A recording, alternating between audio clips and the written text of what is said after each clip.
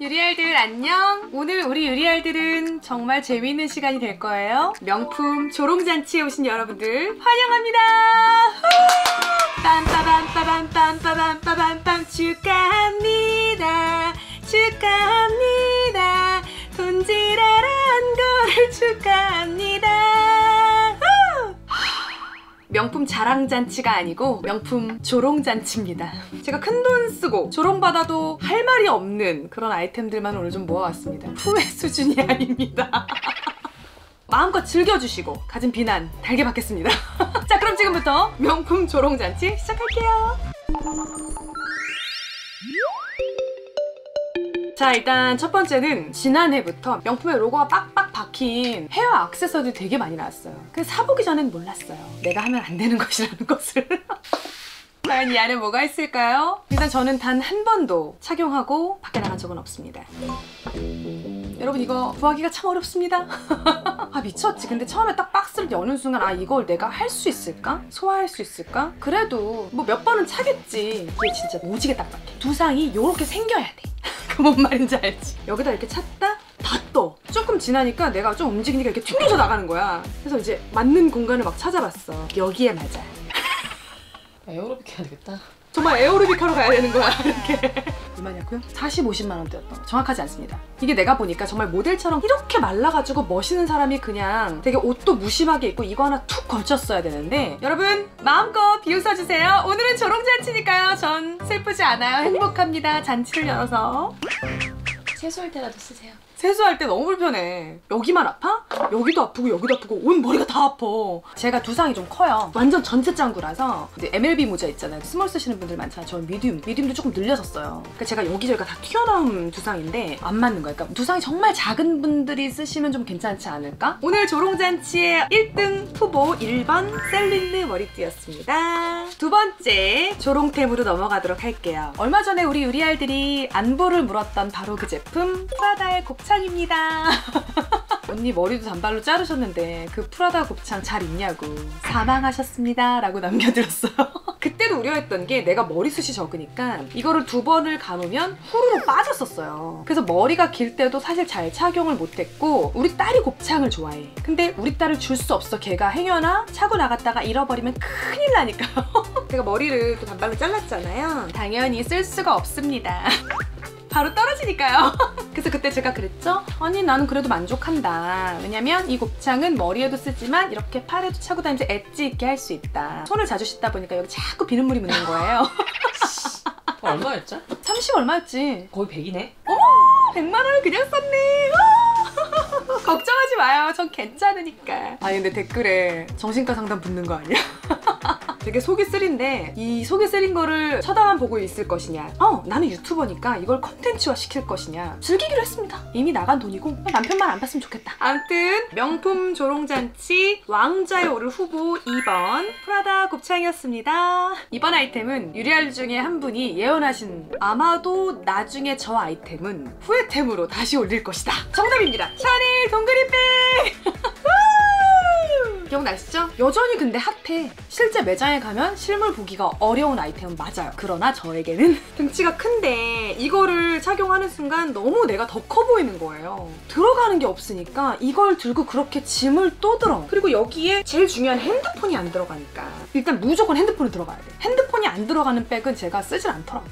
내가 이걸 살 때 내 친한 친구가 19 라인 있잖아. 야 이거 진짜 핫한 거야. 없어서 못 사. 네가 안 쓰더라도 나중에 팔면 대박이라고. 이틀 만에 팔더라고. 최너 때문에 그 쬐끄만 거 샀다가 쓸 데가 없어. 막 이러면서. 이런 미니백을 좀 백의 용도가 아니라 액세서리처럼 생각하시는 분들 있잖아요. 나는 그분들이 짐을 어떻게 하는지 모르겠는데 아 이게 짐이 많은 사람들은 절대로 사용하면 안 되는 백이구나. 그래서 딱 한 번 들었어요. 근데 제가 지금 이 백은 나중에 우리 딸이 20살이 되면 줄까? 아니면 팔까? 지금 고민하고 있어요, 사실은. 마음껏 비웃어주세요, 여러분. 조롱템에 있어서 어떤 브랜드의 명성은 상관이 없습니다. 에르메스 등장이요. 하, 족히 족히 5년은 됐습니다. 5년 동안 단 한 번도 착용하고 나간 적이 없습니다. 제 아는 두 분이 결혼했습니다. 제가 소개를 했고 결혼을 했는데 근데 그 신랑분이 뭔가 사주고 싶다는 거예요. 근데 너무 비싼 걸 부르자니 부담될 것 같아서 스카프나 사줘. 제가 그랬어요. 그분은 에르메스가 좋은 브랜드니까. 어 그럼 유리야 에르메스에서 사줄게. 그래서 내가 "헉, 에르메스. 색깔이 너무 많잖아요. 그래서 연락이 왔어. "헉, 근데 여기 너무 색깔이 많은데 유리야 어떤 색깔 사주면 되겠어? 이러길래 아 그냥 무난한 거. 제가 에르메스 브랜드를 몰라서 에르메스 브랜드의 스카프들이 그렇게 휘황찬란하고 또 휘황찬란한 것들이 잘 나간다라는 걸 모르고 흰색 무난한 거 남자니까 흰색 무난한 거 주세요 한 거야. 제가 매년 한 번씩 열어보거든요. 자 흰색 무난한 거 맞아요. 한국적인 에르메스입니다. 여러분 에르메스에서 이런 디자인 처음 봤죠? 저도 처음 봤어요. 이거 무궁화 아니야? 이걸 딱 열었는데 어? 내가 생각한 그림은 이게 아닌데 명품이니까 그래도 착용을 해보면 예쁠 거야. 근데 이 무궁화인지 나팔꽃인지 하는 게 어디서도 다 보여가지고 제가 어찌할 바를 모르겠는 거예요.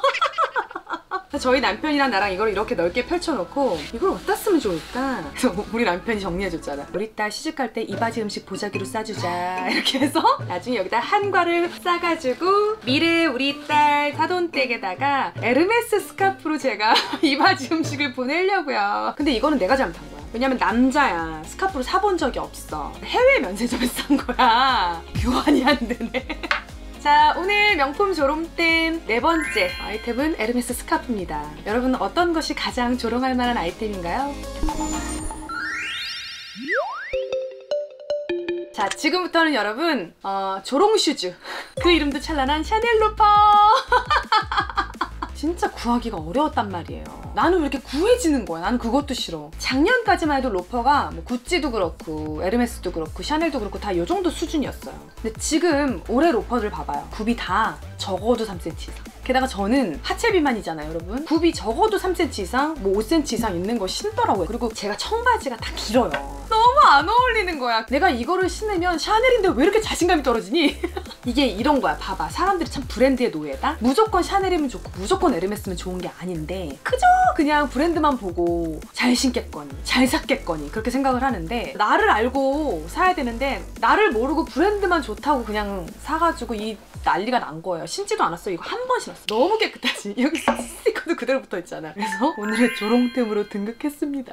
아휴, 여러분 울지 말아요. 내가 괜찮다는데 왜 여러분이 안 괜찮아? 나 괜찮아요. 예. 두번 째도 이제 신발인데 진짜 잘못된 선택이죠. 나는 명품 브랜드 담당자들한테 하고 싶은 말이 있어요. 함부로 파격 세일 안 했으면 좋겠어요. 우리의 판단력을 다 흐리게 만들어. 원래 70만 원짜리인데 50% 35만 원이야. 근데 내 사이즈 하나 남았어. 헉, 볼 것도 없어 이거 사야 돼. 이렇게 되거든요. 그래서 못 신는 신발이 이렇게 또 나왔어요.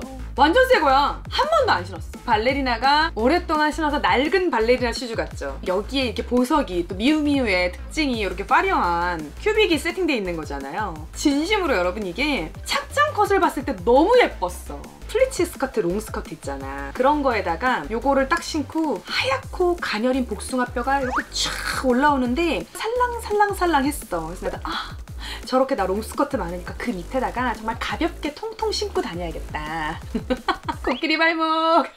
그리고 진짜 아까 그 샤넬 로퍼보다 훨씬 더 바닥이 없어. 그러니까 진짜 이게 지면의 어떤 텍스처가 다 느껴지는 거예요.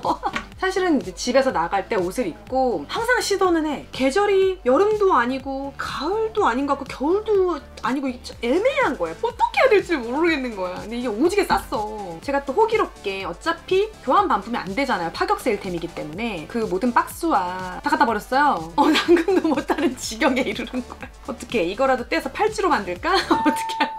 제발 파격 세일 좀 안 했으면 좋겠어. 어머 어떻게 70%야 사야 돼 이게 아니라 어머 얼마나 안 팔리면 70%야 이렇게 생각을 해야 돼요. 제 쇼핑 철학을 바꾼 계기가 된 신발입니다. 자 이번에 또 신발입니다. 조롱 슈즈 등장. 이번에는 끌로에고요. 웨지예요. 샌들입니다. 여기다가 이렇게 발을 넣고 이렇게 이렇게 여기다가 리본을 이렇게 묶어가지고 이렇게 신는 이렇게 신발이에요. 제가 딱 한 번 신었습니다. 아 깨끗해. 그죠? 꼭 얘는 굽도 있겠다 블랙이겠다. 근데 이게 참 문제가 있었어요. 제가 딱 한 번 신고 안 신는 이유가 발목을 한 번 둘러온 다음에 리본을 묶어야 돼요. 그러니까 이제 발목보다 더 위에 검은 줄이 한 줄 더 있네? 다리가 너무 짧아 보이는 거야. 근데 제가 허벅지가 두껍기 때문에 핫팬츠를 안 입어요 그러니까 이제 종아리가 요, 이- 요만큼밖에 안 나오는 거야. 여기 위에는 스웨이드고 여기 위에는 웨지예요. 뭐 mix and match 오케이 알겠어. 근데 계절이 참 애매해. 여름에 신잖아요. 발에 땀이 너무 차. 왜냐면 여기가 스웨이드 너무 더워. 발가락이 막 돌아버리겠는 거예요. 근데 또 여기가 너무 여름 소재니까 가을 겨울에 신자니 애매해. 다리는 짧아 보여. 야이 클로에 놈들아 왜 이렇게 파격 세일을 해서 내 헛돌을 쓰게 만들었나 너무 후회가 되더라고. 이걸 딱 한 번 신고 나갔을 때 찍은 사진을 올린 적이 있어요. 그 그걸 보고 우리 유리알이 어머 저 신발 뭐예요? 너무 예쁘네요. 하고서 문의를 줬었어요. 종아리가 요만하게 나와서 어머 종아리만 이렇게 늘려서 사진을 올렸어요. 그러니까 예쁜 거야. 아, 종아리가 긴 사람들이 신어야 되는구나. 정말 바삐다 오늘 그죠? 어, 중복 선택 가능합니다. 고민하지 마세요. 두세 개 선택하면 되지. 잠깐만 보자. 돈을 얼마나 썼을까? 100만 원, 70만 원 정도, 동그립백 한 230만 원, 샤넬 로퍼 한 120만 원, 40만 원, 40만 원, 600만 원. 600만 원 헛돈 썼네. 600만 원 어디 갔나?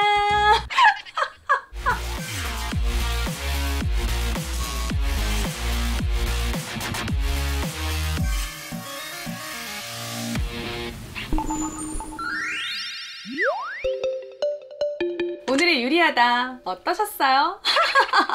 와 근데 진짜 제 컨디션으로 할 수가 없다 이렇게 미친 척하고 웃어야 그나마 마음이 안정이 돼. 안 그러면 울 것 같아.